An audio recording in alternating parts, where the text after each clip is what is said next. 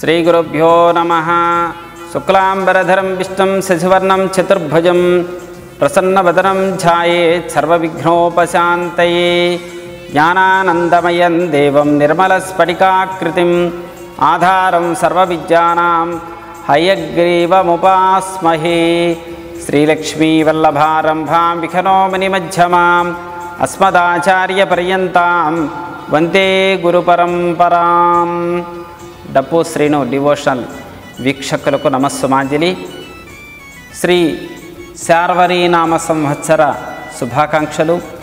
ఈ శార్వరీనామ సంవత్సరంలో ద్వాదశ రాశులకి ఏ విధమైనటువంటి గోచారి రీత్యా శుభాశుభ ఫలితాలు కలుగుతాయి? అదేవిధంగా మీనరాశి వారికి గ్రహ ద్వాదశ రాశి సంచార ఫలాన్ని ఏ విధంగా ఇస్తున్నారు? అది ఒకసారి మనం పరిశీలనగా చెప్పుకుందాం. ఈ మీనరాశి పూర్వభాద్ర నాలుగు పాదాలు ఉత్తరాభాద్ర ఒకటి రెండు మూడు నాలుగు పాదాలు రేవతి నక్షత్రం ఒకటి రెండు మూడు నాలుగు పాదాలు కలిసి మీనరాశి. ఈ రాశి వారికి ఆదాయం ఎనిమిది వ్యయం పదకొండు. ఆదాయం తక్కువగా ఉంది వ్యయం ఎక్కువగా ఉంది. రాజపూజ్యం ఒకటి అవమానం రెండు. ఈ అవమానం ఎక్కువగా ఉంది రాజపూజ్యం అనేది తక్కువగా ఉంది. వీటి వలన కాస్తింత ఆదాయం తక్కువగా ఉంది కాబట్టి అప్పులు చేసేటువంటి పరిస్థితులు ఏర్పడతాయి. తర్వాత ఈ రాజపూజ్యంలో అవమానాలు ఒక శాతం ఎక్కువ ఉంది. తర్వాత గౌరవించేవారు ఒక్కరు మాత్రమే ఉన్నారు.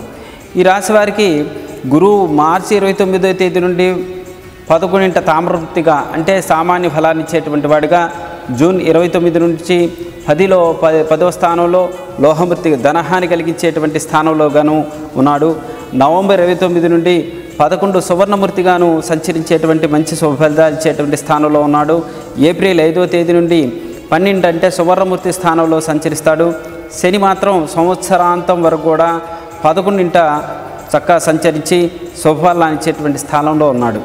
రాహుకేతులు సంవత్సరాంతం నుండి పదకొండింట సెప్టెంబర్ ఇరవై మూడు వరకు చతుర్థ దశమ స్థానాల్లో అంటే పదో స్థానాల్లో లోహమృతులుగాను తదుపరి తృతీయ భాగ్యస్థానాలు రజతమృతులుగాను సంచరించి ఈ రాశి వారికి రాజ్యస్థాన సంచార కాలంలో కార్య జయం గౌరవం సన్మానాలు పుత్ర సౌఖ్యము బంధు విరోధములు మాత్రము తర్వాత కాకుండా అదే కాకుండా అవకాశాలు అనేకమైనటువంటి జరుగుతానికి అవకాశాలు ఉన్నాయి. గురుని యొక్క లాభస్థాన సంచారంలో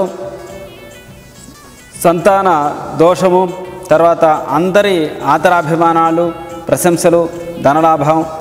ఈ శని లాభస్థాన సంచారంలో తర్వాత శరీర ఒక లాభస్థానం చక్క గొప్ప గొప్పదైనటువంటి ధన ధనధాని కీర్తి లాభము భూ భూ యొక్క కొనుగోలు పుత్ర పౌత్ర విషయాలై అనేక రకమైనటువంటి శుభ శుభపరిణామాలు గోచరిస్తున్నాయి.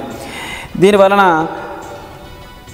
ఈ స్థానాల ఆధిపత్యాన్ని అనుసరించి స్థానాల యొక్క ప్ర ప్రతి ప్రతి పనిలో కూడా నడిచేటువంటి విధంగా రాహు అర్ధ అర్ధాష్టమ రాసిన సంచార కాలంలో వ్యాధులకు గురి అవ్వటం తర్వాత వైద్యుని సలహా తీసుకొని ఔషధ సేవనం చేసేటువంటి పరిస్థితి ఏర్పడటం ఈ రాశి సంచార కాలంలో సర్వసౌఖ్యాలు అంటే రాహు తృతీయ సంచారంలో సర్వసౌఖ్యాలు కలగటం తర్వాత రాహుకేతుల యొక్క ప్రభావం మొత్తం మీద తృతీయార్థంలో మంచి అనుకూలంగా ఉంది.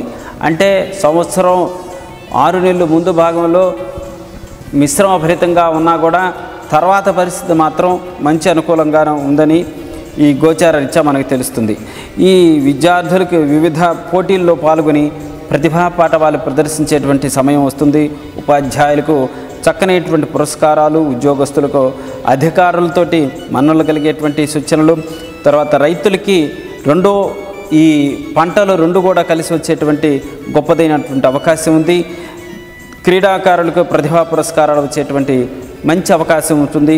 న్యాయవాదులకు వైద్య వృత్తుల్లో ఉన్నటువంటి వారికి అధికారులు విశేషమైనటువంటి ప్రతిభ ప్రదర్శించి గౌరవ పురస్కారాలు పొందేటువంటి చక్కనైన అవకాశాలు కలుగుతాయి ఈ రాశి వారికి. అంతేకాకుండా ప్రోత్సాహకరమైనటువంటి కాలంగా మనం చెప్పుకోవచ్చు. రాజకీయ నాయకులకు ఎదురులేని కాలంగా వారికి చక్క బాగుంటుంది. అఖండ గౌరవం పొందుతారు. తర్వాత రాహు అర్ధాష్టమ కేతు దశమ స్థానాల స్థానంలో సంచార దోష నివారణ కోసం వీరు దుర్గాదేవి సుబ్రహ్మణ్యాష్టక స్- పారాయణ దుర్గాపదేవి పూజ కనుక చేసినట్టయితే సకల శుభాలు పొందుతారు. అదేవిధంగా గృహయోగము స్థిరాస్తి అభివృద్ధి చేసే పరిత్ర ప్రయత్నాలు తర్వాత ఈ సంతాన రీత్యా శుభ పరిణామాలు ఏర్పడటం శుభ శుభ విషయాలలో చక్కగా పాల్గొనటం ఈ రాశి వారికి అత్యంత శుభదాయకంగా ఉందని చెప్పవచ్చు.